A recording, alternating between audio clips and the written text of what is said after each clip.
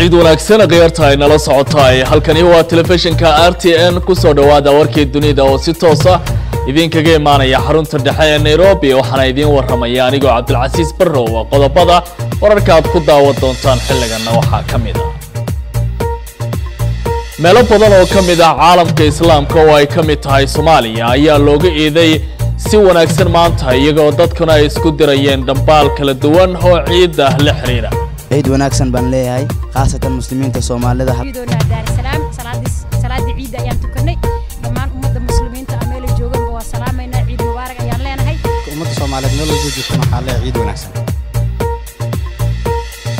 Madaxweynaha dowlad deegaanka soomaalida mustafa maxamed cagjar oo maanta sheegay inuu diyaar u yahay in cid kasta oo saluugsan hanaanka maamulkiisa uu doonayo inuu la fadhiisto islamarkaana uu wadahadal la galo xilli maalmihii ugu dambeeyey ay soo baxayeen siyaasiyiin si weyn uga soo horjeeda maamulkiisa.